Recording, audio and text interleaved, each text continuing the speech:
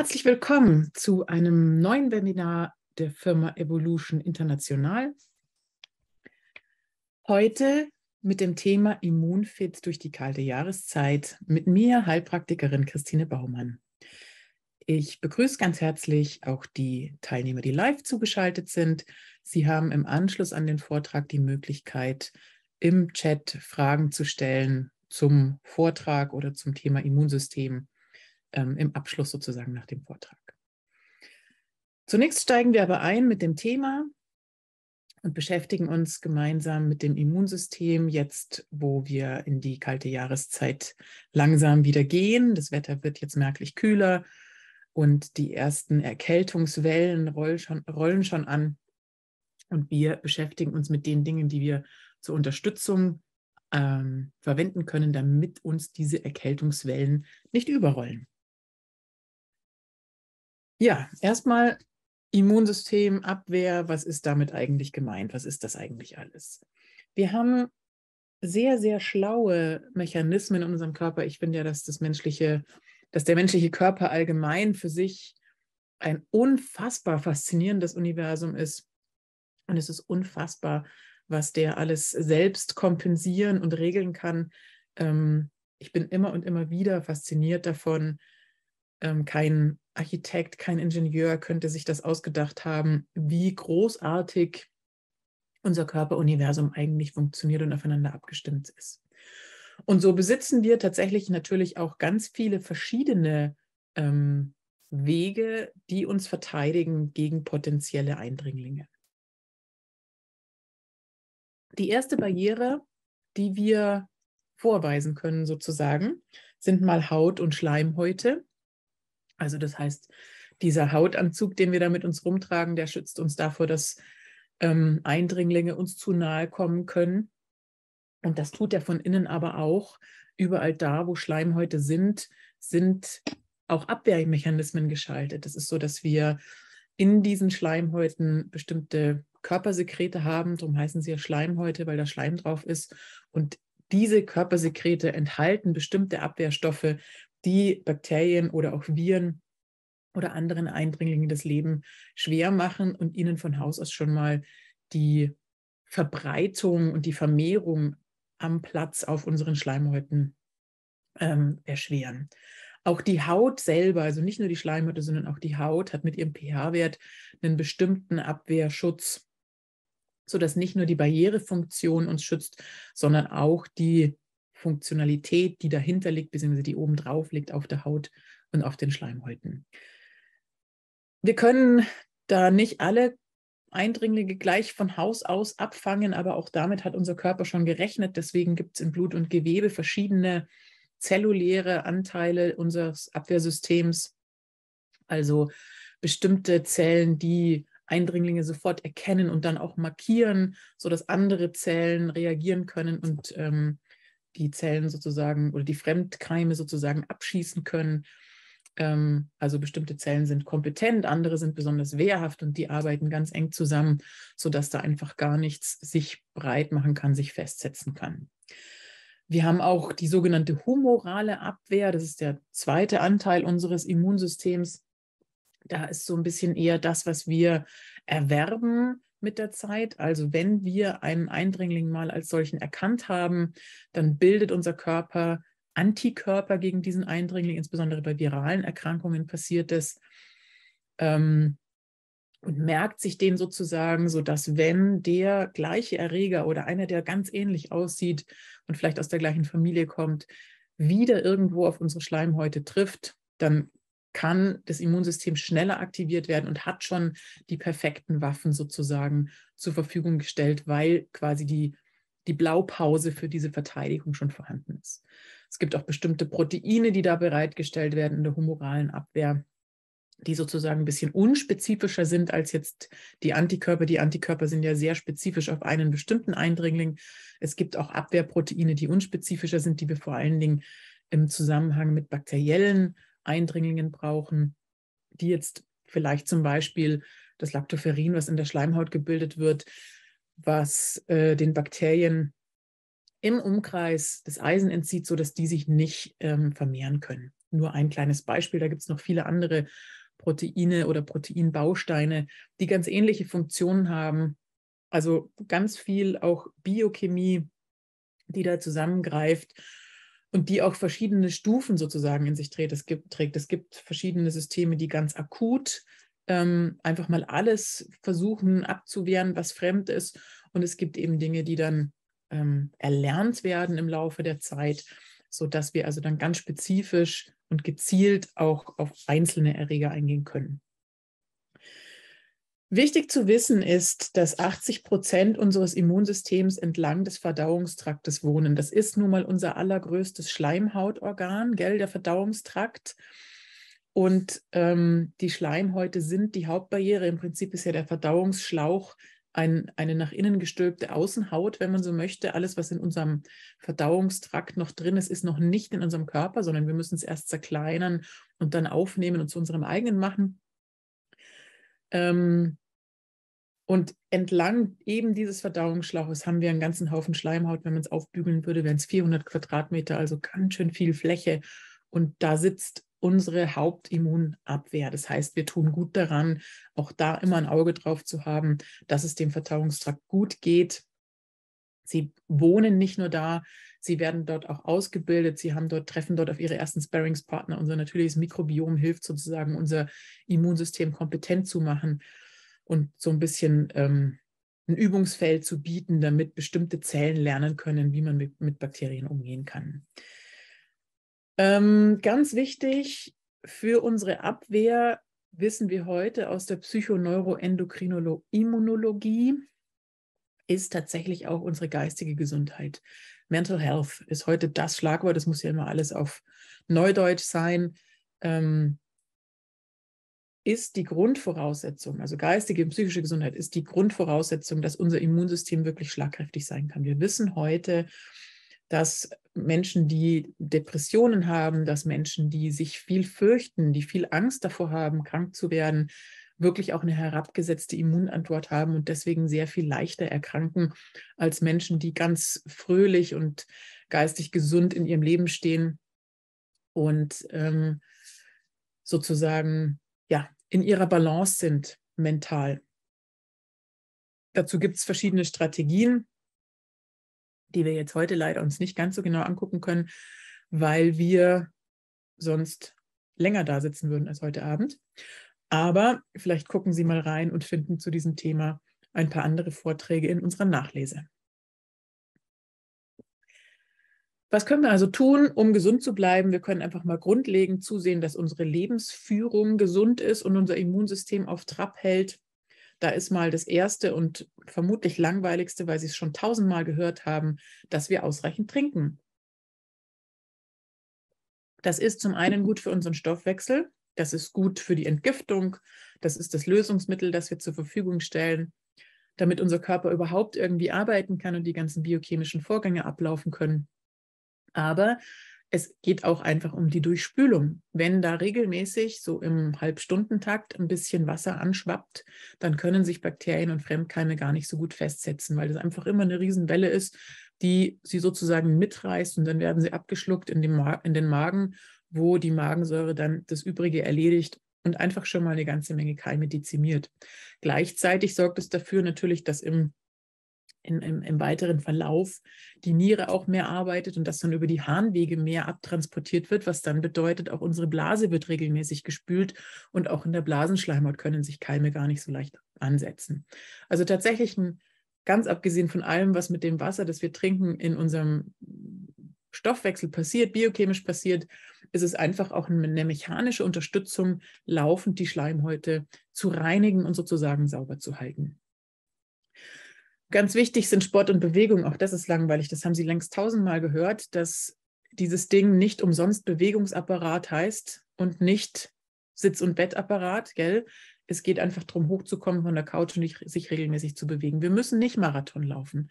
Es muss auch niemand, der keine Lust drauf hat, schwere Gewichte stemmen, aber regelmäßig bewegen, mäßig bewegen, mit guter Atmung an der frischen Luft im Idealfall, vielleicht kombiniert durch noch im Krafttraining, das zum eigenen, ähm, ähm, zum eigenen, zur eigenen Fitness, zur eigenen Kondition gut passt.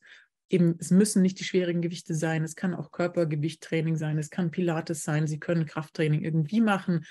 Aber wichtig ist, dass wir die Muskulatur tatsächlich auch benutzen, weil man heute weiß, dass die Muskulatur nicht nur fürs hübsche Aussehen zuständig ist, sondern die Muskulatur wird heute als eigenes Organ angesehen und die Muskulatur bildet tatsächlich bei Benutzung auch bestimmte Botenstoffe und bestimmte Zytokine, ähm, die unsere Immunzellen aktivieren und sie tatsächlich schlagkräftiger und kompetenter machen, sodass wir Fremdkeime noch schneller erkennen können und dass unser Immunsystem noch stärker reagieren kann. Wir trainieren also nicht nur unsere Muskulatur, wenn wir uns bewegen und Sport machen, sondern wir trainieren auch unser Immunsystem. Die, der Spaziergang an der frischen Luft sorgt noch dafür, dass wir eine gute Belüftung auch auf den Schleimhäuten haben. Ähm, da kommen Fremdkeime dann gar nicht mehr so richtig gut klar, wenn das immer ordentlich belüftet ist. Es ist wie bei einem Raum, den man ordentlich belüftet. Da kann sich auch so ein Schimmelpilz an der Wand gar nicht so gut ansetzen. Ähm, ich habe schon gesagt, Darmgesundheit ist Immungesundheit. Ich sage es nochmal, weil es so unglaublich wichtig ist. Es gibt ganz viele Wege, den Darm zu pflegen. Ich persönlich plädiere ja immer dafür, dass es sich durchaus lohnt, dass man einmal in seinem Leben oder vielleicht auch alle paar Jahre regelmäßig mal jemanden fragt, der sich gut auskennt mit dem Darm und vielleicht eine Stuhlanalyse macht und sich dann angepasst an die Stuhlanalyse ein Konzept zusammenstellen lässt, um die Darmgesundheit wieder aufzupäppeln oder fit zu halten auch. Ähm, es gibt natürlich auch Möglichkeiten, ohne eine Stuhlanalyse zu arbeiten. Es gibt schöne Kurkonzepte auch für den inneren Alchemisten. Und wenn man sonst gar nichts machen möchte oder kann, gerade weil vielleicht zu viel anderes auf dem Plan steht, dann ist zumindest das eine, was man tun kann, dass man vor jeder Mahlzeit regelmäßig irgendetwas Bitteres auf der Zunge hat. Quinta Essentia von Evolution zum Beispiel bietet sich an oder irgendeine der vielen anderen Bitterstoffe ihre Lieblingsbitterpflanze, die sie sich vor jedem Essen so richtig auf der Zunge zergehen lassen. Da sind ja die Wege wirklich völlig unterschiedlich und völlig bunt. Suchen Sie sich was aus, aber alleine die regelmäßige Zufuhr von Bitterstoffen hilft schon, den inneren Alchemisten auf Trab zu halten, die Schleimhäute gesund zu halten, die Leber aktiv zu halten, die Bauchspeicheldrüse ähm, in Aktion zu halten. Und das ist einfach gut für unseren gesamten Verdauungstrakt. Das tut gut und das stärkt tatsächlich auch unser Immunsystem.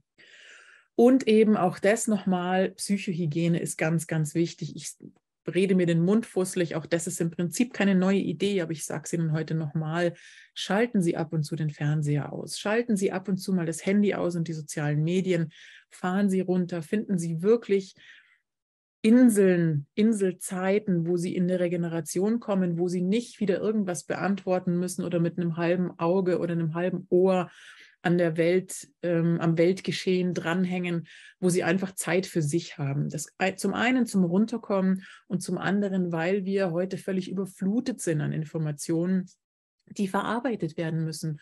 Und es ist heute einfach so viel Angst und Ärgernis dabei. Egal welchen Kanal man aufschlägt heutzutage, das erste sind doch Katastrophen, was gemeldet wird wir brauchen mehr gute Nachrichten oder wenn wir gerade keine guten kriegen können, dann hilft es eben, die Nachrichten einfach mal komplett auszuschalten, Handyfasten zu machen, mal einen Tag lang nicht erreichbar zu sein und wirklich der Seele Raum zu geben, zur Ruhe zu kommen. Gehen Sie im Wald spazieren, gucken Sie sich den blauen Himmel an, schauen Sie dem Herbstlaub zu, wie es runterfällt, schauen Sie dem Gemüse in Ihrem Garten zu, wie es wächst, schauen Sie Ihrer Katze zu, wie sie sich auf ihre Couch zusammenkuschelt und machen Sie einfach mit. Ab und zu mal muss man so Momente haben, wo man wirklich auch geistig in eine Regeneration geht. Und natürlich gibt es da ganz viele Pflänzlein, die uns helfen können.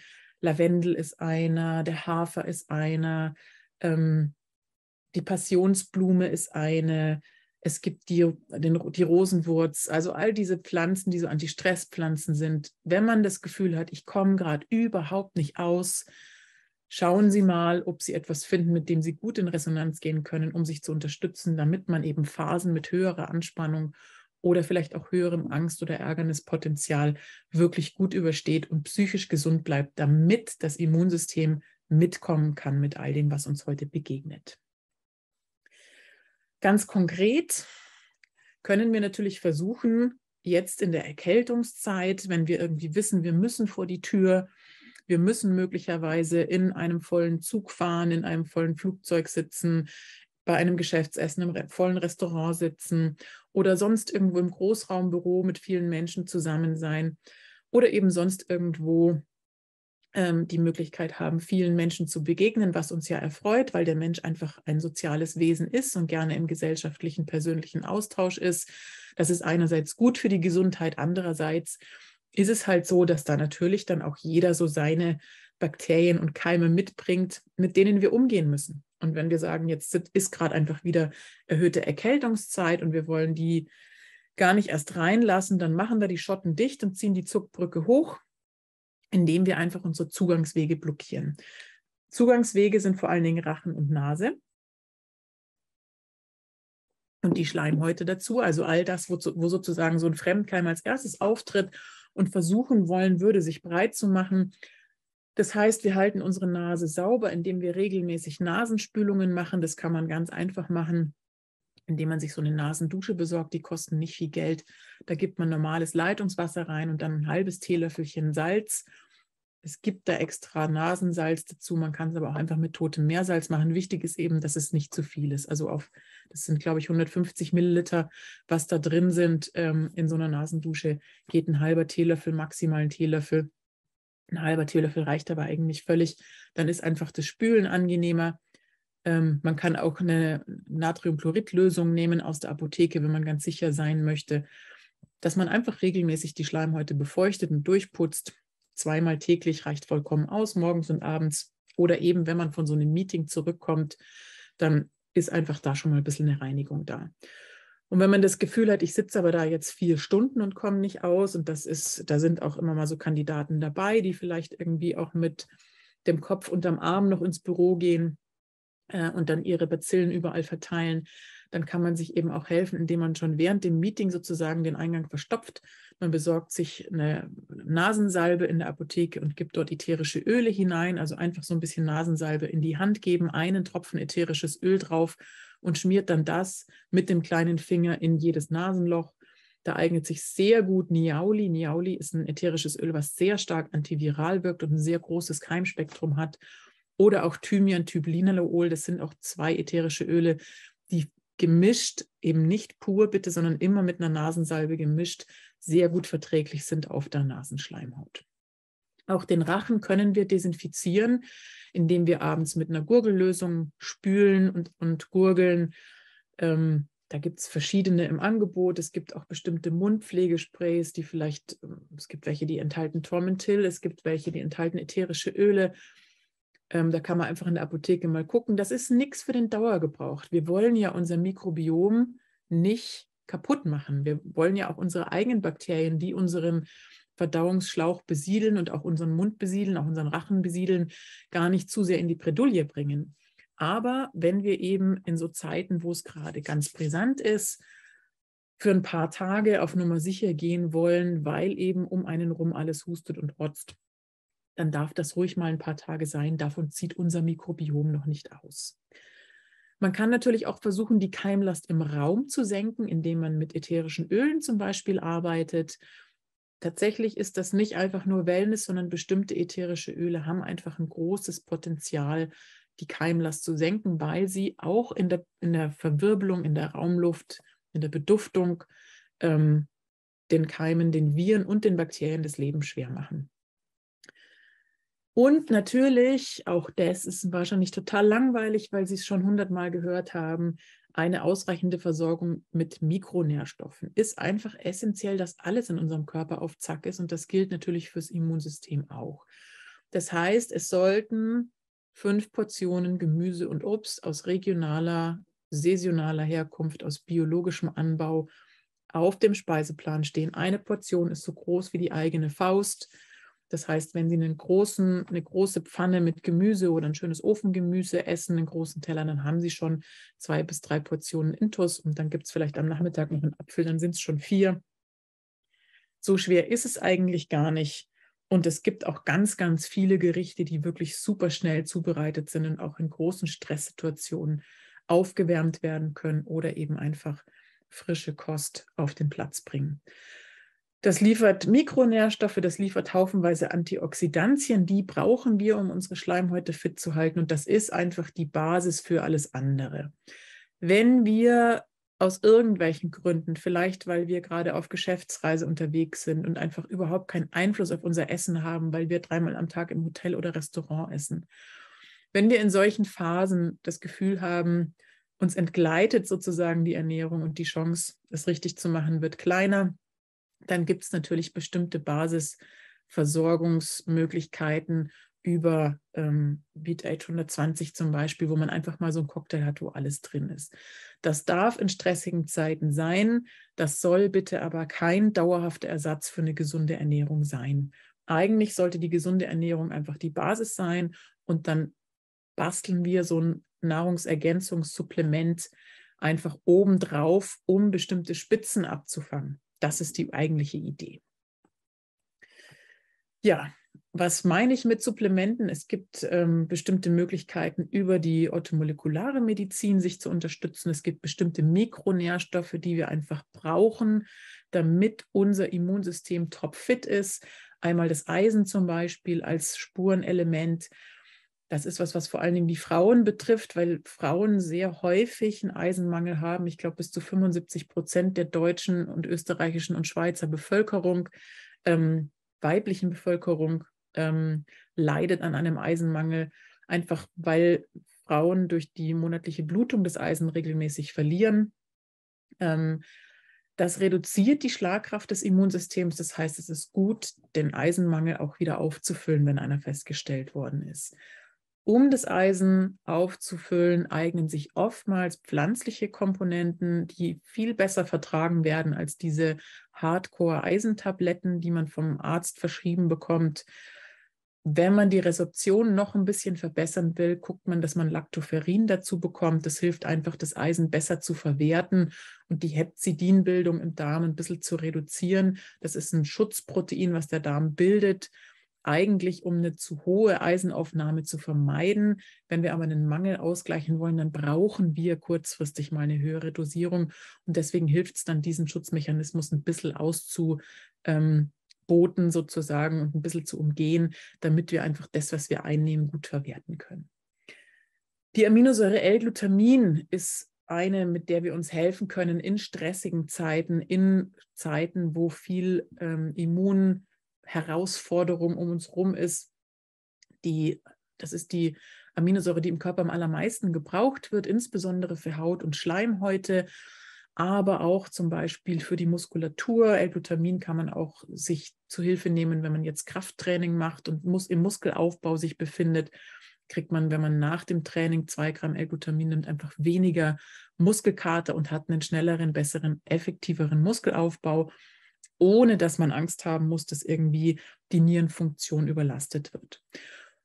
Glutamin ist auch dann wichtig, wenn wir ein Leaky Gut haben, also wenn eine erhöhte Darmschleimhautdurchlässigkeit besteht. Das ist tatsächlich leider relativ häufig der Fall. Wenn dann immer mehr Nahrungsmittelunverträglichkeiten auf dem Plan stehen, dann kann man davon ausgehen, dass es ein solches Leaky Gut gibt. Man kann das natürlich auch im Stuhlbefund nachweisen. Und das Gut macht natürlich immunschwach. Auch wenn man regelmäßig Infekte hat, weiß man, man ist immunschwach, dann könnte das auch mit dem Darm zu tun haben, muss aber auch nicht immer. Und in beiden Fällen kann man mit L-Glutamin arbeiten. Es werden in der Regel bis zu 9 Gramm L-Glutamin verabreicht in solchen Fällen. Nach Operationen in der Rekonvaleszenz gibt man teilweise sogar 60 Gramm am Tag. Meiner Erfahrung nach braucht es diese hohen Dosierungen eigentlich gar nicht. Es reicht, wenn man dreimal täglich zwei Gramm zum Essen dazu nimmt. Das wird in der Regel gut vertragen. Es gibt Ausnahmen.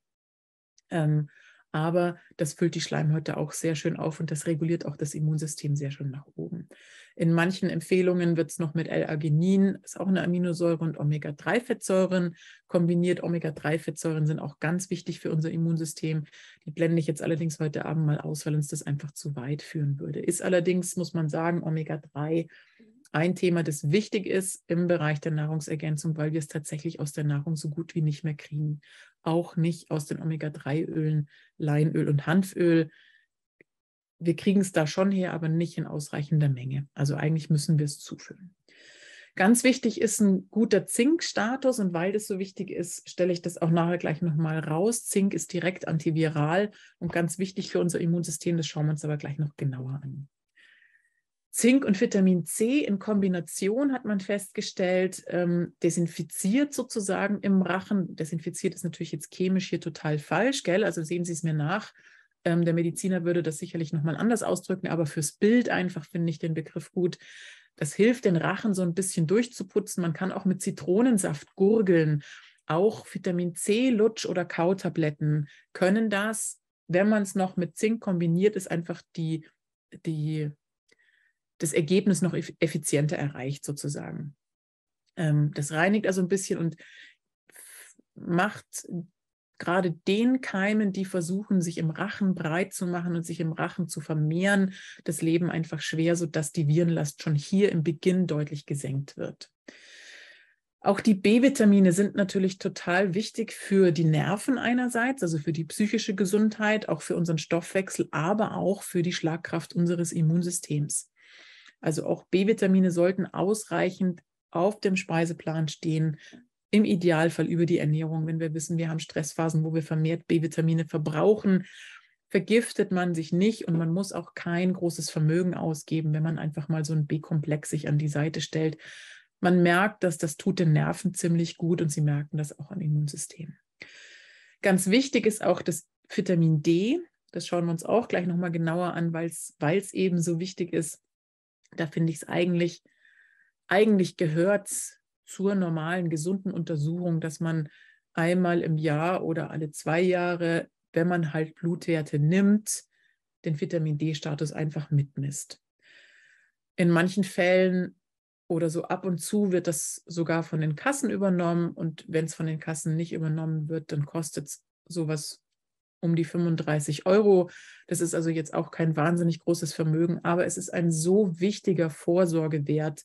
Wir kommen gleich noch drauf, warum, dass das für mich eigentlich zum guten Ton in der Medizin gehört.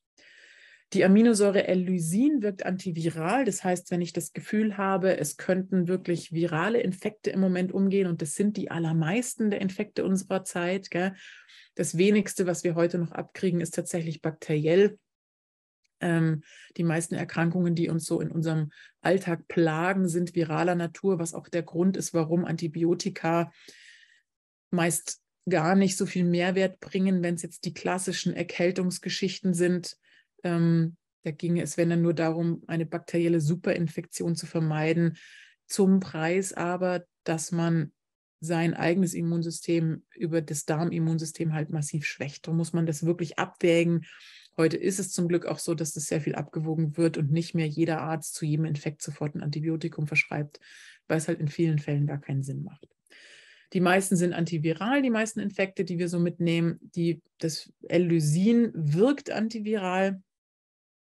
Äh, die meisten Infekte sind viraler Natur, so nicht antiviral. Lysin wirkt antiviral. Und wir kriegen das aus der Ernährung, aus Käse oder Ei. Für die Veganer sind, ist es in Linsen, Erbsen oder Quinoa enthalten, allerdings natürlich in wesentlich kleinerer Menge. Und wenn man jetzt das Gefühl hat, oh, da ist was in meiner Nähe, was ich nicht haben will, der Nachbar hat was, was nicht bei mir einziehen soll, dann kann man L-Lysin durchaus auch mal ein paar Tage ergänzen und zusehen, dass man sein Immunsystem damit stark macht. Sekundäre Pflanzenstoffe nehmen wir am besten über die Ernährung zu uns. Man kann aber schon auch in Phasen erhöhter ähm, Immunherausforderungen sich da ein bisschen unterstützen. Sekundäre Pflanzenstoffe fangen vor allen Dingen freie Radikale ab und jeder Infekt verursacht massiven oxidativen Stress, manche mehr, manche weniger. Die müssen aufgefüllt werden, diese Antioxidantien, die wir da verbrauchen über diesen oxidativen Stress. Und da sind sekundäre Pflanzenstoffe einfach wirklich Gold wert.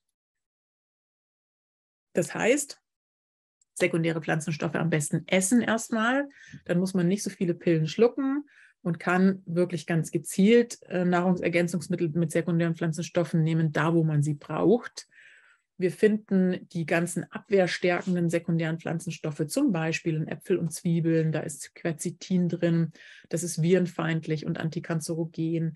In Beeren, und zwar in allen Beeren, egal ob Blaubeeren, Himbeeren oder Erdbeeren, finden wir Anthocyane, die sind antioxidativ und gut für den Darm und die sind ähm, die kann man auch einfrieren. Das heißt, auch tiefgekühlte Beeren enthalten diese tollen Tausendsasser sekundären Pflanzenstoffe, sodass man sich durchaus auch im Winter damit versorgen kann.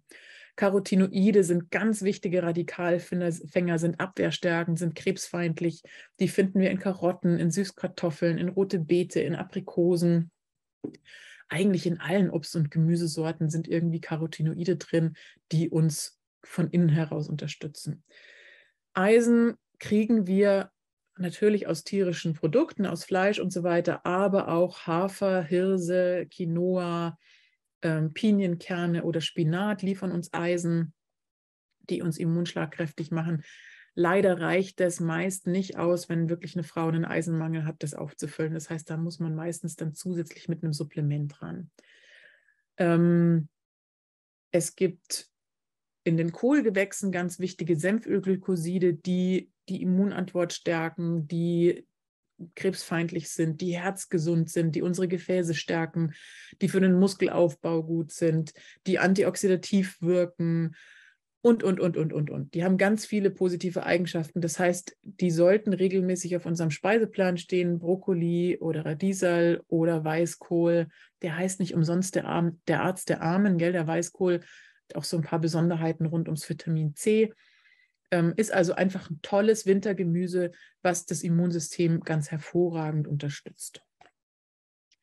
Ja, und wenn es dann mal nicht mehr reicht, wenn wir das Gefühl haben, jetzt ist die Zeit da, wo es wirklich ans Eingemachte geht, wo jetzt jeder rotzt und schnupft und wir wollen vermeiden, dass es uns auch anspringt, dann gibt es eben bestimmte Dinge, die wir auffüllen können und einfach zumindest mal kurmäßig nehmen. Und da gehört für mich das Immunelement Zink auf jeden Fall mit dazu. Zink ist ein Spurenelement, dass wir das essentiell ist. Das heißt, wir müssen es regelmäßig über die Ernährung aufnehmen. Wir kriegen es aus bestimmten Nahrungsmitteln natürlich ähm, auf den Speiseplan. Aber es ist so, dass man heute weiß, dass Zinkmangel gar nicht so selten ist. Also durchaus ein Element, was recht häufig mal in den Mangel geht. Es wird auch sehr viel verbraucht, muss man sagen. Zink reduziert die Produktion von entzündungsfördernden Molekülen. Das heißt, es wirkt auch so ein bisschen gegen Silent Inflammation oder chronische Entzündungsprozesse. Zink ist ein Coenzym und beteiligt an der an der Herstellung von über 200 Enzymen, zumindest soweit wir es heute wissen. Es ist ja so, dass wir im Stoffwechsel ganz vieles noch gar nicht kapiert haben, aber wir wissen schon von 200 Enzymen, dass die zinkabhängig sind. Das heißt, wir verbrauchen es im Stoffwechsel auch wirklich laufend. Wir brauchen Zink für die Produktion von Hormonen und Neurotransmittern, auch für die Umwandlung der Hormone ineinander. Zinkmangel ist zum Beispiel, kann ein Hauptgrund sein, warum ein Mann in den Testosteronmangel hineinrutscht, was dann natürlich sich auch auf die Spermatogenese auswirkt, was sich auch auf die Potenz auswirken kann, was sich auch auf die Spannkraft und die Energie auswirken kann. Ähm, Zink brauchen wir, wenn wir Alkohol abbauen müssen. Jetzt kann man sagen, ja, ich bin ja kein Säufer, ich brauche das nicht. Doch, doch, auch in unserem Stoffwechsel entstehen bestimmte Alkohole, die der Körper wieder abbauen muss. Ganz natürlicherweise, das können wir gar nicht verhindern, auch wenn wir keinen Alkohol von außen zuführen. Natürlich, wenn wir Alkohol von außen zuhören, führen, verbrauchen wir vermehrt Zink und übrigens unter uns so ziemlich alle anderen Mikronährstoffe auch. Aber wir brauchen Zink eben auch, um den körpereigenen, die endogenen Stoffwechselabbauprodukte, Stoffwechselabfallprodukte abbauen zu können. Und da wird Zink auch regelmäßig verbraucht. Wir brauchen Zink für die Herstellung unserer DNS-Stränge, also für die Information in unseren Zellkernen. Damit die gesund und richtig ablaufen kann, muss ausreichend Zink vorhanden sein. Das ist also durchaus auch ein Schutz vor Zellalterung und damit vor allen chronischen Erkrankungen eigentlich, die uns über den Weg laufen können. Und Zink reguliert eben unsere Immunantwort. Ohne Zink ist unser Immunsystem völlig ähm, kraftlos und völlig waffenlos und kann einfach nicht ordentlich reagieren. Das gilt für die Eindringlinge von außen, also die, insbesondere die Viren, weil Zink eben direkt antiviral wirkt, das habe ich schon gesagt aber auch Bakterien werden abgewehrt über unsere Immunantwort. Das gilt aber auch für die Eindringlinge von innen heraus. Wenn doch mal eine Zelle irgendwie aus dem Programm gefallen ist und sich da vielleicht Tumorzellen entwickeln wollen, brauchen wir Zink, um die zu erkennen und um die wieder rauszuputzen. Zink schützt vor freien Radikalen, Zink verdrängt Schwermetalle im Gewebe. Das heißt, wir brauchen es auch zur Entgiftung. Zink schützt die Zellen auch tatsächlich vor irgendwelchen Angriffen durch freie Radikale oder durch irgendwelche anderen Schadstoffe und Schädigungen. Ähm, ist also ein ganz, ganz wichtiges Spurenelement, das wir regelmäßig zuführen müssen. Bei Evolution haben wir Zink als Zinkkomplex zusammen mit dem Vitamin C als Zinkcitrat, also eine organische Verbindung, die sehr, sehr gut ähm, aufgenommen werden kann, die sehr gut resorbiert werden kann. Und wenn man jetzt das Gefühl hat, Zink ist jetzt nichts, wo ich empfehle, dass man das dauerhaft das ganze Jahr durchnehmen sollte. Gell? Es sei denn, es hat da irgendwie jemand eine Verwertungsstörung festgestellt, aber braucht es normalerweise nicht, sondern Zink ist was, was man kurmäßig für sechs bis acht Wochen auffüllt. Oder eben, wenn man das Gefühl hat, ich bin jetzt in einer Situation, wo ich den ganzen Winter über ständig mit Leuten zusammen bin, vielleicht Menschen, die im Krankenhaus arbeiten und ständig mit Keimen zu tun haben, dann kann man das schon auch mal gerade in der Jahreszeit, in der besonders viel Keimlast unterwegs ist, auch regelmäßiger zuführen. Im Normalfall reicht es, sechs bis acht Wochen einfach mal im Herbst aufzufüllen, eben dann, wenn diese ganze Grippezeit wieder beginnt, wenn die ganzen Infekte uns wieder erneut heimsuchen, dann füllen wir mal sechs Wochen den Spiegel auf damit unser Immunsystem so richtig auf Zack ist. Und wenn wir dann Infekte ge doch gehabt haben sollten und das Gefühl haben, ah, jetzt sind die Speicher ein bisschen leer gelaufen, dann füllen wir auch anschließend mit Zink wieder auf. Im Infekt, da komme ich aber nachher noch drauf, darf man gern auch mal für zehn Tage eine höhere Dosierung von Zink nehmen. Man soll mit Zink normalerweise nicht so experimentieren, sondern nimmt man eine Kapsel am Tag und gut ist es, weil das durchaus auch überdosiert werden kann Dafür muss es aber in sehr hoher Dosierung über sehr langen Zeitraum genommen werden. Gell? Also häufiger ist der Mangel, als dass wirklich mal eine Überdosierung passieren würde. Nichtsdestotrotz brauchen Sie nicht mehr als die eine Kapsel. Wenn Sie aber im Infekt sind, wenn Sie merken, oh, jetzt hat er mich doch angesprungen, der Bacillus vom Nachbarn, dann nehmen Sie ruhig mal für zehn Tage die doppelte Dosis und fahren Sie anschließend wieder runter, um das Immunsystem einfach nochmal so richtig zu unterstützen gegen den viralen Infekt. Ja, Vitamin D, habe ich gesagt, ist ganz essentiell. Auch für die Abwehr. Vitamin D ist natürlich nicht nur für die Abwehr gut. Gell? Über Vitamin D könnte man jetzt einen ganzen Tag schwadronieren. Das erspare ich Ihnen jetzt. Ich glaube, dass es in den allermeisten Haushalten mittlerweile angekommen ist, dass Vitamin D so ein Tausendsasser-Vitamin auch ist. Natürlich ist das nicht die Antwort auf alles. Und natürlich kann nicht jedes Problem auf dieser Welt mit Vitamin D gelöst werden. Aber es sind schon ziemlich viele, bei denen Vitamin D beteiligt sein kann und eine deutliche Linderung machen kann. Wir, haben, wir wissen heute, dass in mehr als 35 Gewebearten, vermutlich eben in viel mehr als 35 Gewebearten, aber soweit wir wissen, ist es in 35 Gewebearten bestätigt, Vitamin D-Rezeptoren vorhanden sind. Was heißt denn das? Vitamin D ist eigentlich gar kein Vitamin, sondern eigentlich ist es eine Hormonvorstufe, wie wir heute wissen. Und ein Hormon alleine macht noch keine Reaktion. Die Reaktion von einem Hormon besteht immer daraus, dass ein Hormon an der Zelle auf einen Hormonrezeptor trifft. Wenn wir aber wissen, es gibt 35 Arten oder wahrscheinlich sogar mehr von Gewebe, die einen Rezeptor für eben dieses Vitamin D-Hormon haben, dann wissen wir, Vitamin D macht an all diesen Hormonen, an diesen Geweben auch etwas. Wir sind ja früher mal davon ausgegangen, Vitamin D ist wichtig für unsere Knochen, damit unsere Knochen gut ausgebildet werden, damit die nicht brechen, damit sie schön fit sind, damit sie elastisch bleiben, damit Kalzium eingelagert werden kann, damit Kalzium aufgenommen werden kann. Das wussten wir, dafür brauchen wir Vitamin D. Wir wissen heute, wir brauchen es noch für viel, viel, viel mehr eben auch für die Aktivität und die Kompetenz unseres Immunsystems. Kompetenz des Immunsystems heißt, der Eindringling wird erkannt. Aktivität heißt, das Immunsystem reagiert. Und Schlagkraft bedeutet, wir haben die richtigen Waffen auch noch dabei. So wollen wir unser Immunsystem haben und Vitamin D unterstützt alle drei Ansatzpunkte sozusagen. Außerdem senkt Vitamin D die Entzündungsbereitschaft. Vitamin D ist beteiligt an der Zelldifferenzierung, also dahin, an der Art, wie sich eine Zelle gesund entwickeln kann, an der, an der Zellreifung, am Zellwachstum. Das heißt, Vitamin D stärkt nicht nur unser Immunsystem, das ja zum Beispiel Tumorgewebe erkennen müsste, sondern es verhindert oder verzögert auch den Prozess der Tumorbildung. Es ist beteiligt oder es reguliert mindestens drei Prozent unserer Gene unsere menschlichen Gene. Da geht es um die Bildung von bestimmten Proteinen, von Enzymen, von Botenstoffen innerhalb der Zelle.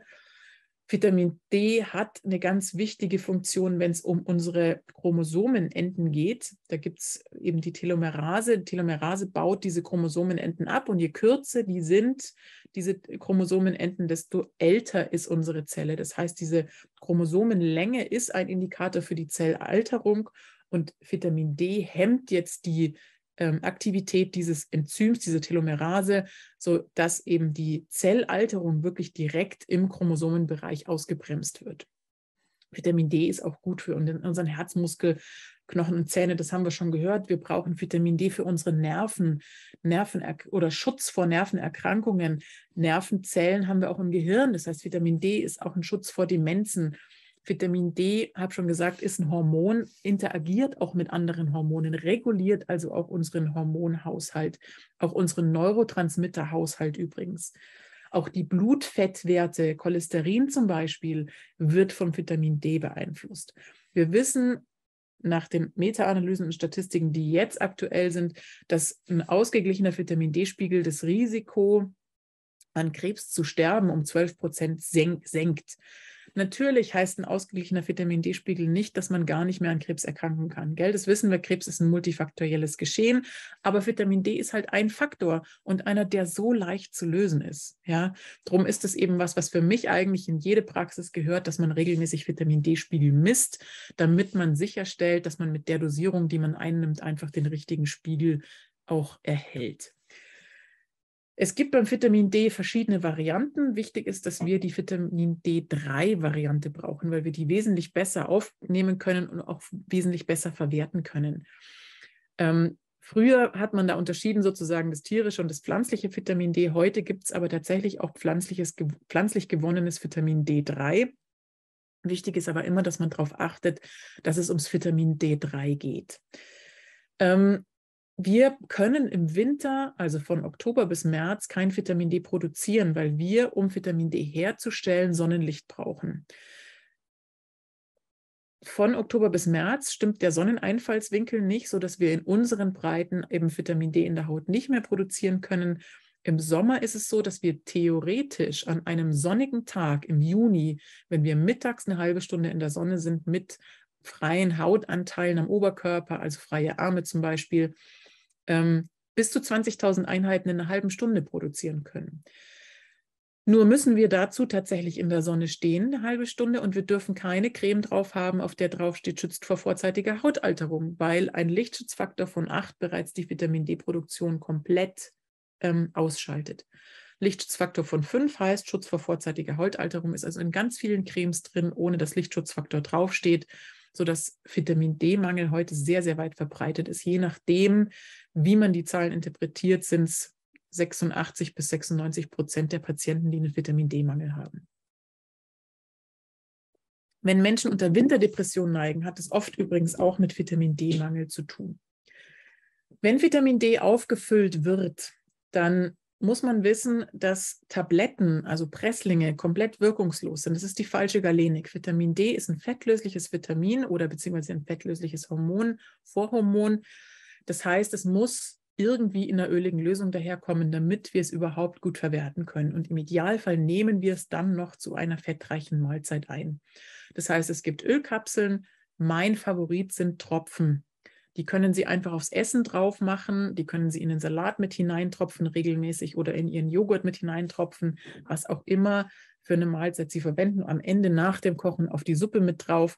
Dann ist das im Essen mit drin und Sie müssen nicht an noch ein zusätzliches Arzneimittel denken, eine zusätzliche Tablette schlucken. Das hat auch für die Psychologie was, weil Vitamin D schon zu den Mikronährstoffen gehört, die meines Erachtens in der Dauertherapie bzw. in der dauernden Verwendung eigentlich eingenommen gehören. Gell?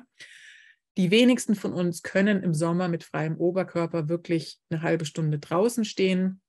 Und wenn wir draußen stehen, ist auch gerne mal der Himmel bewölkt oder wir stehen im Schatten oder wenn wir älter werden, produziert unsere Haut auch einfach nicht mehr so viel Vitamin D-Hormon. Das heißt, wenn man sich die Blutspiegel anschaut, stellt man fest, dass die wenigsten Menschen wirklich mit einem hohen Spiegel in den Winter gehen.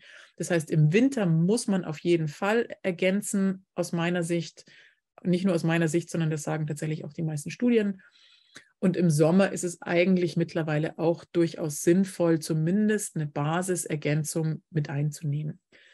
Basisergänzung heißt, wenn wir tatsächlich präventive Vitamin D-Spiegel erreichen wollen, also welche, die unser Immunsystem stärken, die krebsfeindlich sind, die uns vor Demenzen schützen, die unsere Knochen stärken, dann braucht ein 70 Kilo schwerer Erwachsener zwischen 4.000 und 6.000 Einheiten. 4.000 ist das Minimum. Alles, was drunter ist, ist für einen 70 Kilo schweren Erwachsenen eigentlich Augenwäscherei.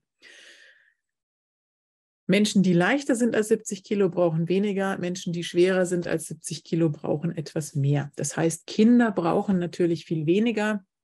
Bei Kindern kommen wir mit ein oder 2000 Einheiten am Tag gut hin. Ähm, bei Säuglingen reichen die 1000 Einheiten oder vielleicht manchmal sogar 500 Einheiten, je nach Gewicht. Aber als Erwachsener brauchen sie mit 1000 Einheiten nicht anzufangen. Es gab dann mal die Idee, dass man hohe Dosierungen einmal wöchentlich nimmt, damit man nicht ständig dran denken muss. Die Studien haben aber bis jetzt ganz klar gesagt, besser verwertet wird es, wenn wir täglich diese Erhaltungsdosis haben. Und würde man jetzt versuchen, das über die Nahrung aufzunehmen, dann muss man sich mal auf der Zunge zergehen lassen, dass 250 Gramm Lachs oder ein Kilo Avocado so gerade bis zu 2000 Einheiten auf den Teller bringen. Das heißt, Sie müssten ganz schön viel Lachs und ganz schön viel Avocado essen, um über die Ernährung wirklich ans Vitamin D ranzukommen. Drum reichern wir unsere Ernährung am besten an mit Vitamin D-Tropfen. Auch da bietet die Evolution tolle Lösungen. Es gibt es sogar als veganes und es ist trotzdem ein Vitamin D3. Und es gibt diese 5000 Einheiten Tropfen, die finde ich persönlich sehr angenehm. Ein Tropfen irgendwo in die Suppe auf den Salat und schon hat der 70 Kilo schwere Erwachsene ausreichend zur Verfügung. Im Beginn eines Infekts kann man kurzfristig für fünf Tage tatsächlich die Dosierung auch mal hochfahren auf 10.000 Einheiten oder sogar 15.000 Einheiten. Sie vergiften sich damit nicht. Man kann Vitamin D überdosieren, wobei das tatsächlich in vielen Kreisen mittlerweile hart diskutiert wird, ob Vitamin D-Überdosierung wirklichen Schaden macht. Bei ein, einem gesunden Menschen tut es das nicht.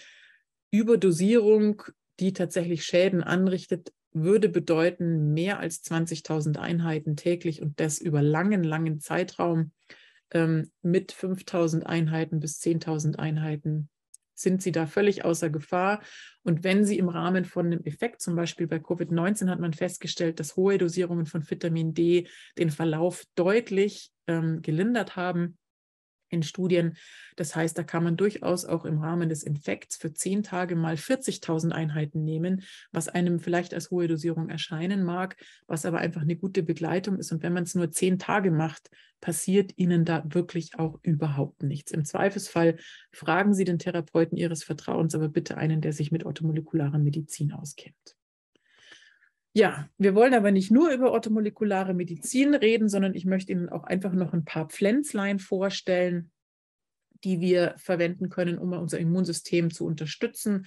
Eines davon ist der rote Sonnenhut. Sie kennen das alle auch als Echinacea. Das haben wir auch als Kinder schon bekommen. Das macht unser Immunsystem schlagkräftig. Der rote Sonnenhut ist ein echtes Immunstimulanz, das wir vor allen Dingen zur Prophylaxe verwenden und auch dann, wenn wir immer wiederkehrende Infekte haben, egal ob das Atemwege sind oder Harnwegsinfekte sind, wenn jemand immer und immer wieder einen Infekt bekommt, dann kann so ein Immunstimulanz tatsächlich dafür sorgen, dass das Immunsystem besser re reagiert. Man hat mit dem roten Sonnenhut Studien gemacht. Die Kommission E hat bestätigt, was er alles kann. Man hat festgestellt, dass die Alkamide, die da drin sind, an bestimmte Rezeptoren binden und bestimmte Zytokine triggern, die antiphlogistisch wirken, das heißt antientzündlich wirken, beziehungsweise eben bestimmte Entzündungsprozesse runterfahren. Wichtig ist, dass der rote Sonnenhut vor allen Dingen geeignet ist für die Prophylaxe oder im Beginn eines Infektes. Der aktiviert das Immunsystem. Das heißt, wenn Sie merken, es kratzt, es fliegt mich was an, dann nimmt man hochdosiert auch gerne im stündlichen Abstand den roten Sonnenhut ein. Wenn bereits Fieber besteht, oder hohes Fieber ist, dann gibt es keinen roten Sonnenhut mehr. Dann ist das Immunsystem schon aktiv. Dann suchen wir uns ein anderes Pflänzlein, gibt es genügend. Aber im Beginn das Immunsystem aktivieren bedeutet, wir kommen vielleicht gar nicht in die Situation, wo unser Immunsystem dann so weit raufgeschraubt werden muss, dass wir wirklich ein akutes, schweres Fieber bekommen. Man muss ein bisschen aufpassen bei Autoimmunprozessen. Da wirklich, wenn dann mit ganz kleinen Dosierungen und bitte lieber in Absprache mit einem Therapeuten, weil eben bei einem Autoimmunprozess das Immunsystem ja nicht noch weiter angekurbelt werden soll, sondern da wollen wir eher was Regulatives. Da gibt es dann vielleicht andere Pflänzlein, die besser passen. Echinacea ist nicht nur gut für die körperliche Abwehr, sondern tatsächlich macht es auch was mit der seelischen Abwehr. Echinacea ist zum Beispiel die Pflanze, die man gerne auch Kindergartenkindern gibt, die jetzt jeden Infekt mit nach Hause bringen.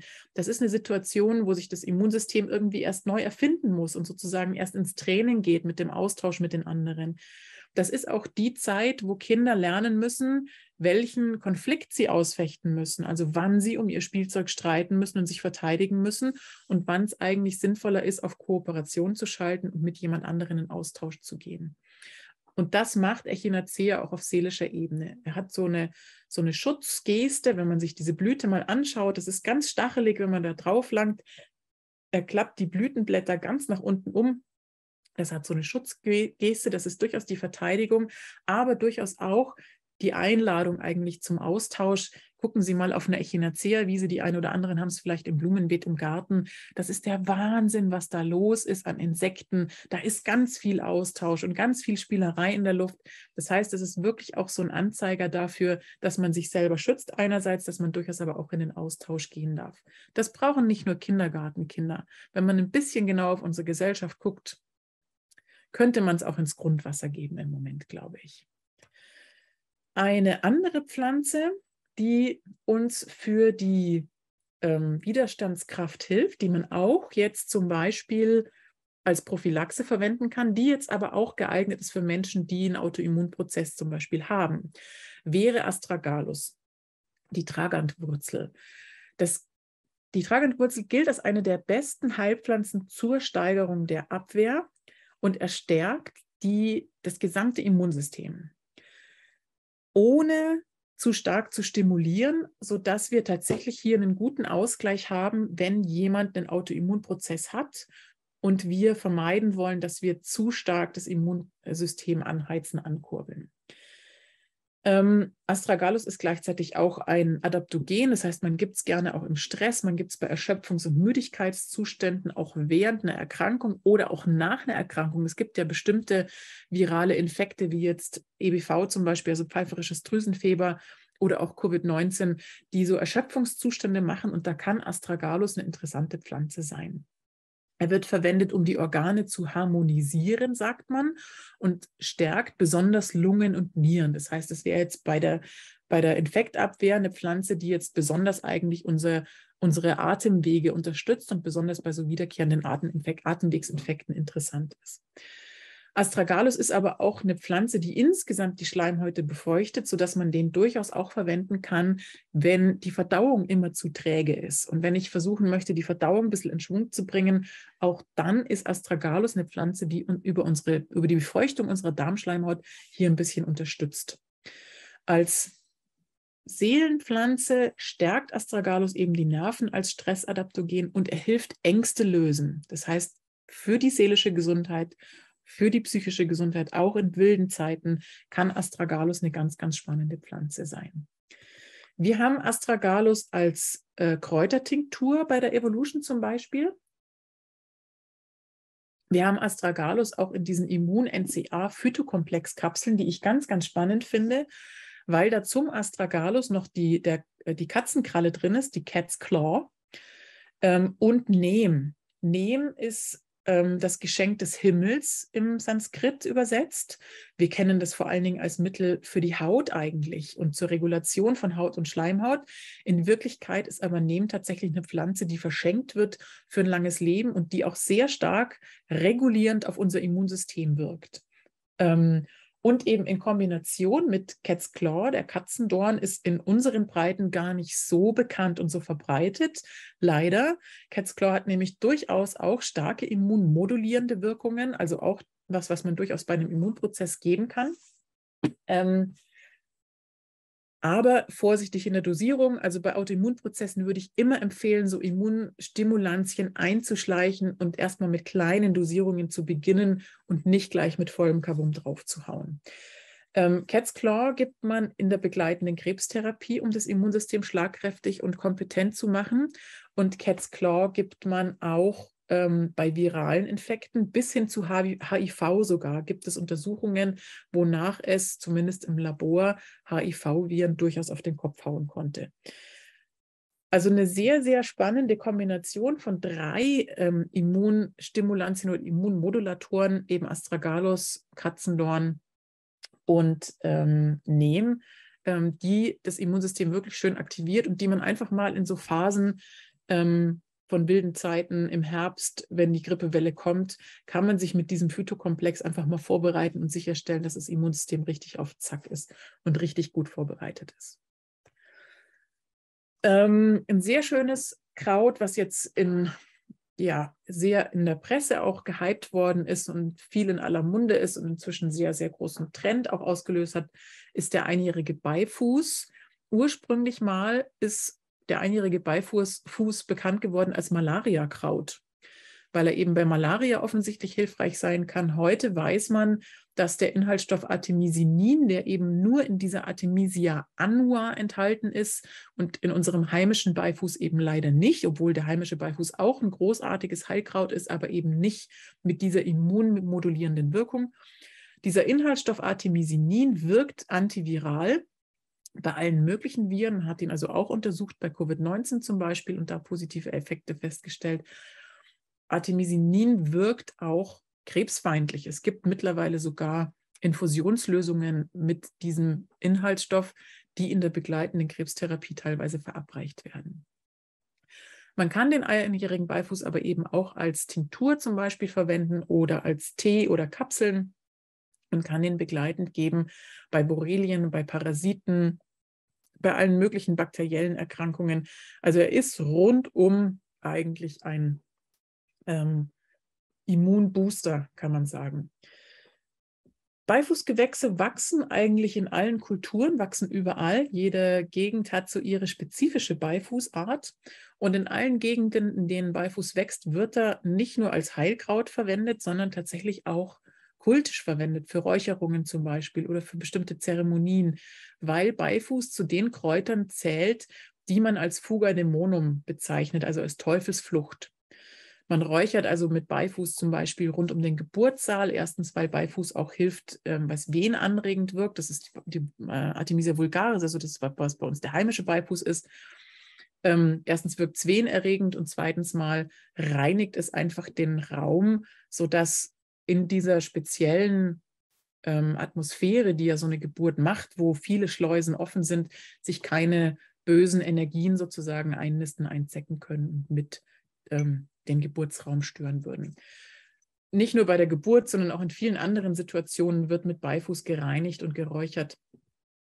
Das ist eine große Pflanze, auch der heimische Beifuß ist eine große Pflanze, eine wichtige, ein wichtiges Frauenkraut, ein wichtiges Verdauungskraut aber wenn es jetzt ums Immunsystem geht, ist eben die Artemisia annua das Spezifikum, die halt hier nochmal ein anderes Talent hat. Und wenn man sie sich mal in den Garten stellt, wird man auch feststellen, der einjährige Beifuß, der hat ein ganz anderes Aroma, der riecht ganz angenehm, zitrusartig, während die Artemisia vulgaris, die hat gar kein auffälliges Parfüm eigentlich, die riecht sehr krautig, ähm, hat aber dafür einen sehr intensiven anderen Geschmack, der durchaus auch ansprechend sein kann. Bei Evolution haben wir den einjährigen Beifuß als Tinktur, als spagyrische Tinktur, also als Tropfenlösung, sodass man den durchaus eben im Stundentakt im Beginn eines Infekts einnehmen kann zur Unterstützung und auch während dem Infekt dann tatsächlich weiternehmen kann. Das ist nicht wie beim Sonnenhut, dass man aufhören muss, sondern man kann sich damit wirklich begleiten, insbesondere bei viralen Infekten. Ähm, die Tigerwurzel will ich Ihnen noch feststellen. Das ist ein der sibirische Ginseng, ein echtes Stärkungsmittel, was das Immunsystem stärkt, das Nervensystem stärkt. Wir kennen es als Stressadaptogen, wir kennen es als Begleitung in der Krebstherapie. Ähm, und vor allen Dingen hat man eben einige Viren untersucht, zum Beispiel Influenza hat man untersucht, ähm, die mögen die Tigerwurzel überhaupt nicht. Ähm, das Besondere am Beifuß ist, dass er tatsächlich ein starker Kraftgeber ist. Das heißt, besonders wenn eine Erkrankung sehr auszehrend ist, wenn so so Chronic Fatigue-Symptomatik sich einschleicht, zum Beispiel aufgrund von einer Chemotherapie, zum Beispiel weil bestimmte Viren einen müde gemacht haben, EBV macht das, Covid-19 macht das, kann man mit, dem, mit der Tigerwurzel einen Versuch machen, diese Müdigkeitszustände, diese Erschöpfungszustände wieder zu vertreiben. Einfach so ein bisschen gucken, was passt denn vom Typus her gut zu mir. Tigerwurzel steigert das Durchhaltevermögen und verbessert einfach die Fähigkeit, sich an Belastungen von außen anzupassen. Egal, ob das jetzt körperliche Belastungen sind. Also Tigerwurzel wird tatsächlich schon auch eingesetzt bei ähm, Hochleistungssportlern zum Beispiel oder bei ähm, Soldaten hat man auch Untersuchungen gemacht mit der Tigerwurzel, wenn die besonders herausfordernde körperliche Programme, Fitnessprogramme durchlaufen mussten und hat festgestellt, die können sich viel besser an diese Reize anpassen ähm, aber auch seelischer Natur, eben wenn wir besonders viel Stress haben, dann macht die Tigerwurzel einfach nochmal stärkere Nerven. Tigerwurzel verkürzt außerdem die Regenerationszeit, sowohl nach dem Sport zum Beispiel, als eben auch nach einer auszehrenden Erkrankung. Kommen wir schneller wieder auf die Beine, sind schneller wieder fit und schneller wieder erholt, wenn wir die Tigerwurzel an der Seite haben. Ich finde es immer wichtig dazu zu sagen, wenn Sie Tigerwurzel einnehmen, dann haben Sie mehr Energie. Menschen, die gerade im Stress sind und echt im Projekt voll drinstecken, die, die haben, die greifen gerne zu solchen Mitteln und ich finde das gut und ich finde es berechtigt. Wichtig ist aber, dass wenn sie so ein Tonikum einnehmen wie die Tigerwurzel, dass sie dann ein bisschen was von der Energie, die sie zusätzlich bekommen, auch für sich und für ihre Regeneration verwenden. Wenn jemand kurz vorm Burnout steht und ich gebe dem die Tigerwurzel, ohne dass er darüber nachdenkt, dass er für sich was tun muss, dann geht er einen Schritt weiter und dann ist er in Kürze im Burnout, weil die sich dann wirklich völlig auspowern. Gell? Und das muss man einfach immer so ein bisschen im Kopf haben mit Adaptogenen nicht kopflos spielen, sondern wirklich dann dafür sorgen, dass man dann auch was von der Energie für sich selber verwendet und für die eigene Regeneration und wieder auf die Füße kommen. Wir müssen einfach lernen, auch auf uns selber aufzupassen und mit unseren Kräften ein bisschen auszuhalten, weil es dankt uns niemand, wenn wir über diese Klippe springen und dann wirklich völlig im Ausgebranntsein landen. Bei Evolution gibt es die Tigerwurzel in, dem, in der Kräutertinktur oder auch in den Anti-Stress-Kapseln zum Beispiel, da ist sie in Kombination mit anderen Adaptogenen drin, sodass tatsächlich auch diese Gefahr des über die Klippe springens ein bisschen abgemildert wird, weil da eben nochmal die Rosenwurz mit drin ist, die uns eher reguliert und eher beruhigt. Und ich muss, wenn ich über Immunfit rede, muss ich einfach die Zistrose auch noch erwähnen, weil die Zistrose ein ganz wichtiger Virenfeind ist. Ähm, Zistrose kann man einsetzen zur Vorbeugung, aber auch eben während dem Infekt. Das heißt, die Zistrose hat nicht das Problem wie der Sonnenhut, dass das Immunsystem überstimuliert wird. Das heißt, wir können es auch bei Autoimmunprozessen einsetzen. Ähm, und wir können es auch dann einsetzen, wenn zum Beispiel schon hohes Fieber da ist, wenn wir also sozusagen schon, wenn es schon zu spät eigentlich ist, um mit dem Sonnenhut noch zu reagieren. Ähm, kann die Zistrose helfen. Und die Zistrose ist halt bei ganz vielen Viren untersucht. Herpesviren mögen die nicht, EBV mag sie nicht, die Influenza mag sie nicht. Das ist wirklich eine Pflanze, auf die ganz, ganz viele virale Erkrankungen ansprechen, ähm, sodass wir den überall da, wo wir einen viralen Infekt vermuten, gerne mit im Boot dabei haben. Zistrose ist natürlich nicht nur virenfeindlich und äh, immunmodulierend, sondern Zistrose ist auch ein sehr starkes wundheilendes Kraut, was wir zum Beispiel super toll verwenden können, wenn wir am Darm auch Schwächen haben, Leaky Gut zum Beispiel haben, zum Abdichten. Ähm, aber auch wenn tatsächlich Verletzungen da sind, kann man die Zistrose nehmen, um systemisch von innen heraus zu, zu unterstützen und die Wundheilung zu stärken. Und diese wundheilende Wirkung kann natürlich auch für seelische Verletzungen verwendet werden im übertragenen Sinne. Gell? Dann nimmt man kleinere Dosierungen und guckt einfach mal, passt das zu mir? Macht das was mit mir? Ist das eine Pflanze, die mit mir was zu tun hat? Gehe ich mit dieser Blüte, mit der Optik von dieser Zistrose in Resonanz? Das, ist, das sind oftmals so ganz feenhafte Wesen, die gut auf die Zistrose reagieren und die auch bei, bei seelischen Traumata unter Umständen eine Unterstützung erfahren, wenn man so ein Pflänzlein an die Seite stellt. Wir haben ein Immunfit-Set zusammengestellt, jetzt für die Phase mit erhöhter Infektanfälligkeit oder Infektherausforderung. Ähm, da haben wir das Vitamin D, D, D3 drin in der kleineren Dosierung, weil diejenigen, die mehr brauchen, können es höher dosieren. Diejenigen, die weniger, weniger brauchen als diese 5000 Einheiten, kommen mit den zweieinhalbtausend Einheiten auch gut zurecht. Es ist dieser Immunkomplex drin, den man eben sehr schön als Kur jetzt akut verwenden kann in der Phase, wo die grippalen Infekte ansteigen begleiten tun wir das Ganze mit, Zimt, mit Zink und weil wir es ja in der Prophylaxe machen, wir wollen ja verhindern, dass sie krank werden, nehmen wir den roten Sonnenhut dazu, Hut dazu als wirklich schönes Immunstimulanz, damit der Infekt gar nicht erst kommt. Es geht darum, das Immunsystem regelmäßig zu pflegen und einfach gut vorzusorgen, damit der Infekt sie gar nicht erwischt, sondern damit das Immunsystem schlagkräftig und fit bleibt und sie eben alles zu Hause haben, was sie dafür brauchen. Man kann das Ganze noch ergänzen, eben mit der seelischen Gesundheit und der Selbstfürsorge.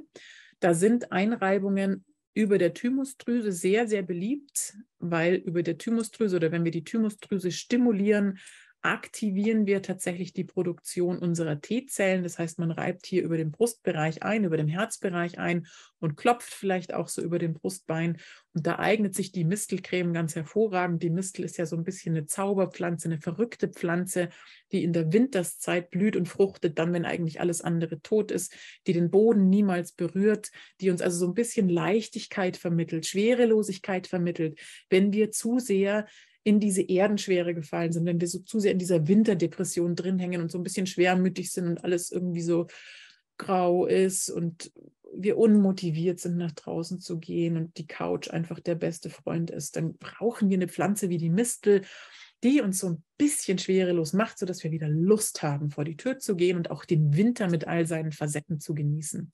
Deswegen eignet sie sich so schön auch für so ähm, Einreibungen jetzt gut fürs Immunsystem, die Mistel ist eine Pflanze, die mit dem Immunsystem auch was macht.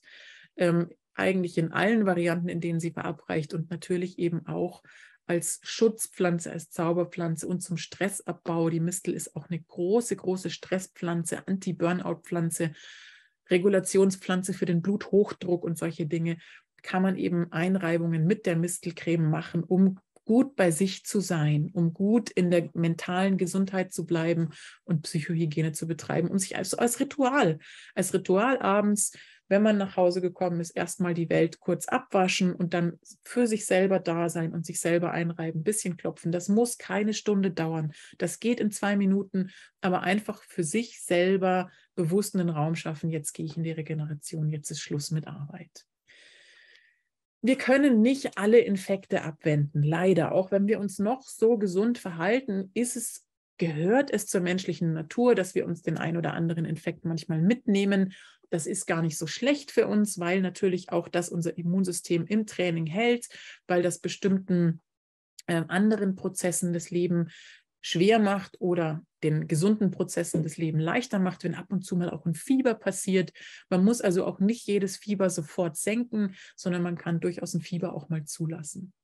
Was wir tun können, um uns zu unterstützen, damit wir so einen Infekt gut überstehen, ist die Trinkmenge erstmal zu erhöhen. Ich weiß, ich wiederhole mich, aber das ist einfach die Basis fürs Gesundbleiben. Man kann mit Vitamin C als Lutsch- oder Kautablette, vielleicht in Kombination mit Zink, schon beim ersten Kratzen im Hals versuchen, hier die Keimlast zu senken. Man kann natürlich jetzt anfangen mit diesen Nasenduschen oder naturheilkundlichen Nasensprays, auch die Nasenschleimhäute sauber zu halten.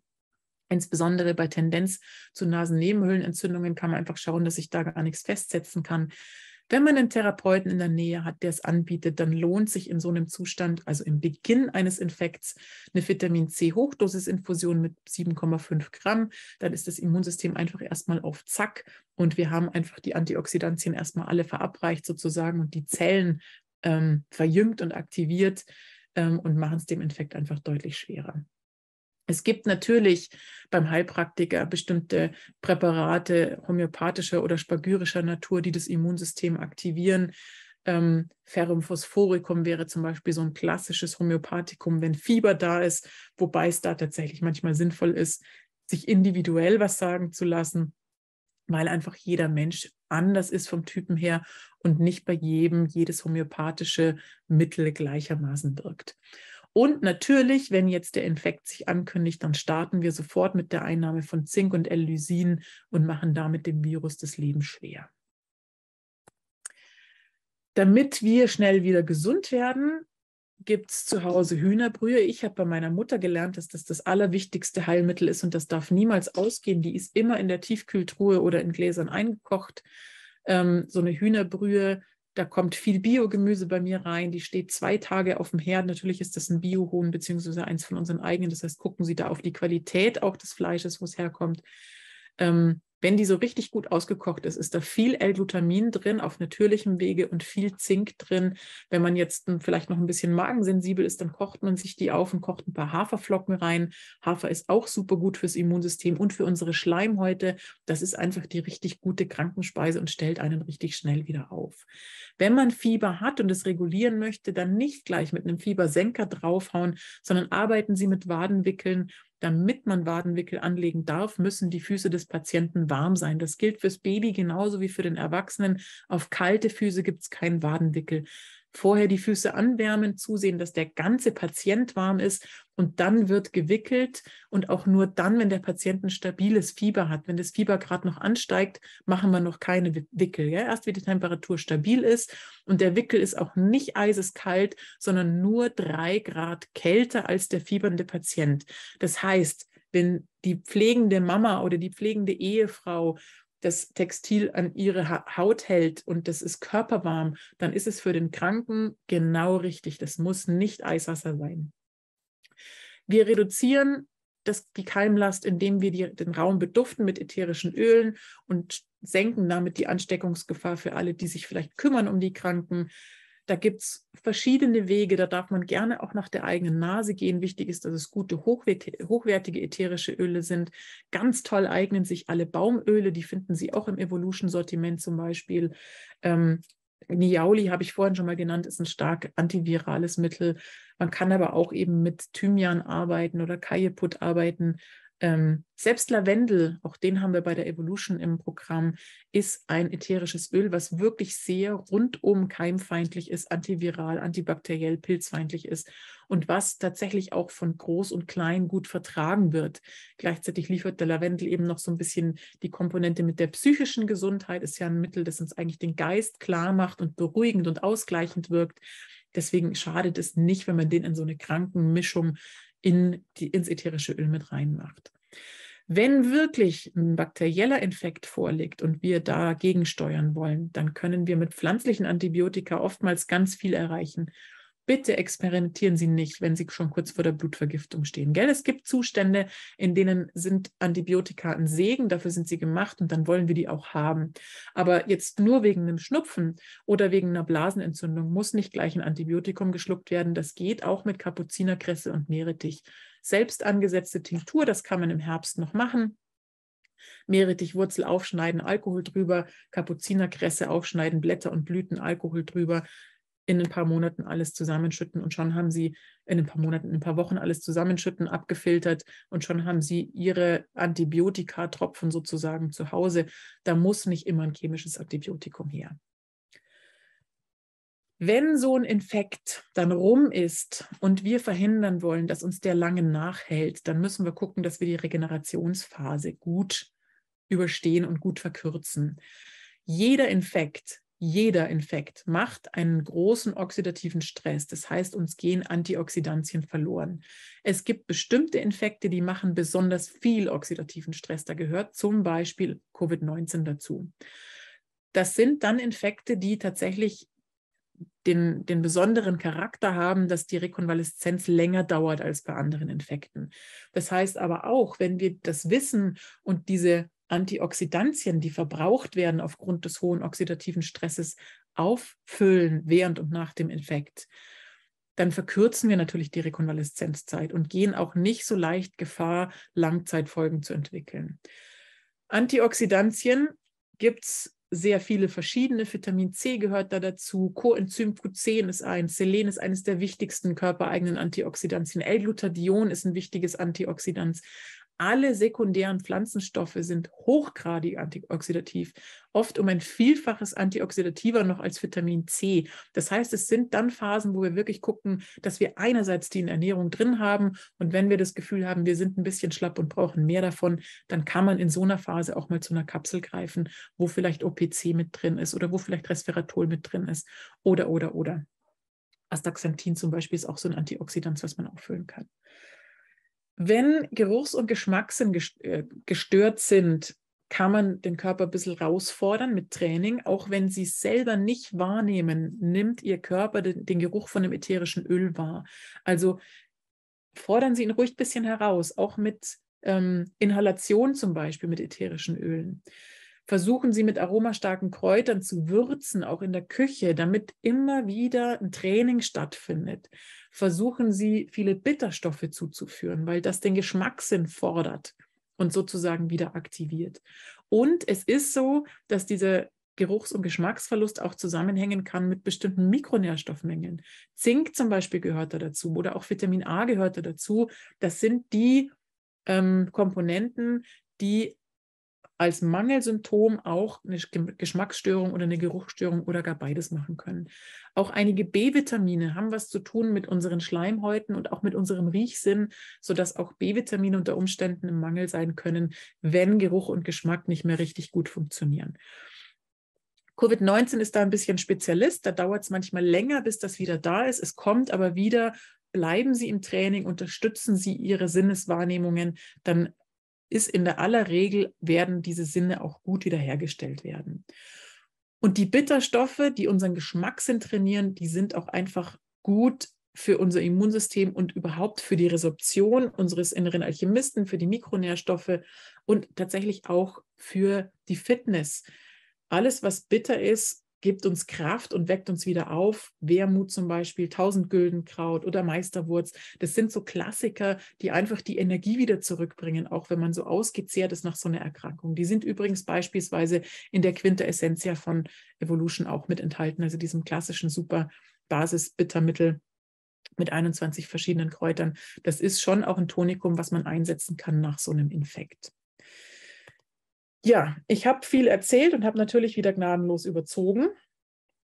Ähm, ich hoffe, dass Sie ein paar spannende Dinge mitnehmen konnten. Die Produkte von Evolution sind deshalb gute Produkte, weil wir bei den automolekularen Substanzen Reinsubstanzen haben, keine Schadstoffe, keine Zusatzstoffe drin haben. Es ist die Ausgangssubstanzen wird, es wird ein großer Wert darauf gelegt, dass die Ausgangssubstanzen aus regionaler Herstellung oder regionalem Anbau tatsächlich stammen. Bei den spagyrischen Kräutertinkturen werden kontrolliert biologische oder aus Wildsammlung stammende Pflanzen verwendet, die zum richtigen Zeitpunkt von Hand geerntet wird. Also es ist wirklich ein großes Augenmerk darauf, dass wir ein gutes Produkt haben, dass wir eine gute Ausgangssubstanz haben. Alles wird zusammengesetzt in guten Dosierungen mit einer sehr guten Bioverfügbarkeit, sodass sie wirklich sehr, sehr schön ganzheitlich wirken. Die spagyrischen Tinkturen haben eben auch nochmal einen großen ähm, psychischen Effekt, wie ich finde. Und ich mache sehr, sehr gute Erfahrungen in der Praxis damit. Deswegen gebe ich das tatsächlich auch gerne weiter. Das sind, ähm, ist wirklich eine gute Qualität, die wir da bekommen können. Wir sind sehr dankbar, dass wir sie haben. Ich hoffe, dass spannende Infos für Sie dabei waren. Wenn Sie Infos zu den Produkten oder zu weiteren Kursen oder Webinarterminen oder Seminaren haben wollen, dann gucken Sie mal vorbei auf www.evolution-international.com. Wenn Sie mehr von mir wissen wollen, gucken Sie auf www.jump-on.eu. Es gibt von mir auch ein bisschen was zu lesen. Ich freue mich sehr, dass Sie heute Abend zugehört haben. Bedanke mich fürs Zuhören. Ähm, freue mich, wenn wir uns im nächsten Webinar wiedersehen und verabschiede mich jetzt einfach erst schon mal. Vielen Dank für Ihre Zeit, für Ihre Geduld und bis zum nächsten Termin.